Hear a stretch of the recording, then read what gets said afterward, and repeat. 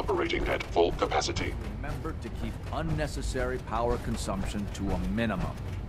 Don't recharge unless your primary levels are below 2%.